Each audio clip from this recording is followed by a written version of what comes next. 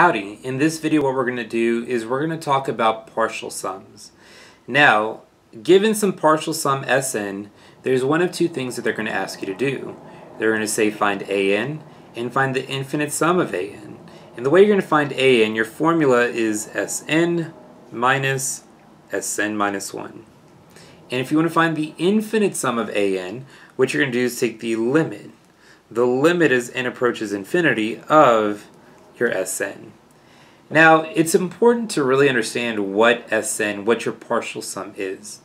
And if I had something like S3, S3 is equal to A1 plus A2 plus A3.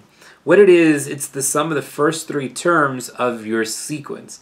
remember, what's a sequence?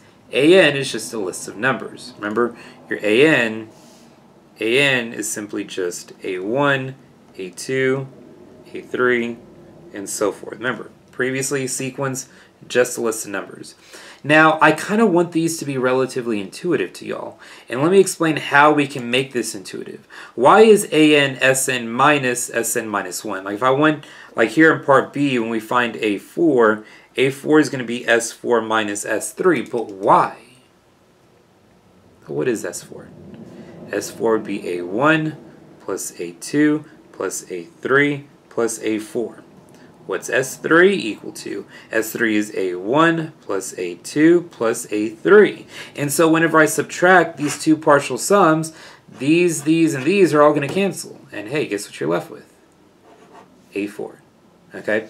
So, and if I want the infinite sum, S, like the infinite sum, the infinite sum of an from 1 to infinity, this is a1 plus a2 plus literally every infinite term in your list.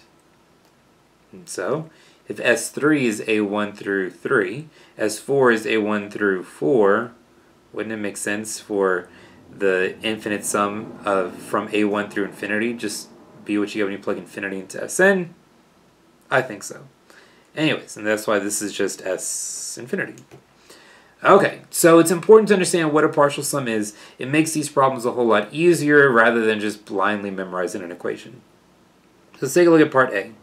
For part A, I want to find an. What an is, it's Sn minus Sn minus 1. And so, given that Sn is n plus 1 over 2n minus 5, and this is just n plus 1, over 2n minus 5 minus, be careful. The reason I say be careful with this is this is n minus 1 plus 1 over 2 times n minus 1 minus 5. You're not just subtracting 1 from everything. What you're doing is you're replacing every n with an n minus 1. And so, here, this is still just n plus 1 over 2n minus 5. And then minus, here n minus 1 plus 1 is an n. And here, 2 times n, that's going to be a 2n. But then I'm going to have minus 2, and then minus that 5 is minus 7. So that's part A. Part B, if I went A4, you have one of two options. Now that I have AN, you can just plug a 4 into here if you want, so that works. Or, if they didn't ask you to find part A first, you can just find A4 by doing S4 minus S3. And S4 is what I get when I plug 4 into every n. And so here, 4 plus 1, that's 5, over, and then here, 8 minus 5, that's going to be 3. And now when I plug a 3 into every n, here, 3 plus 1, that's going to be 4. And then plugging a 3 into here, 2 times 3, that's 6, minus 5, oh, that's just 1. And remember that trick I showed you in the last exam, adding fractions? Here, 5 minus 12 is a negative 7, and then 3 and 1 is just 3. So that's part B. And then if you didn't check out this uh, trick that I showed y'all, check out the previous video. It's at the very, very, very end. Uh, I showed you how to really quickly and easily add and subtract fractions.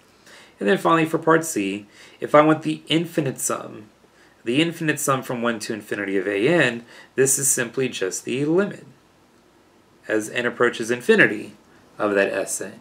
And limited n your Sn is just n plus 1 over 2n minus 5. The limits to infinity, same power on top, same power on bottom, take the coefficients. It's 1 half. That's how you deal with partial sums.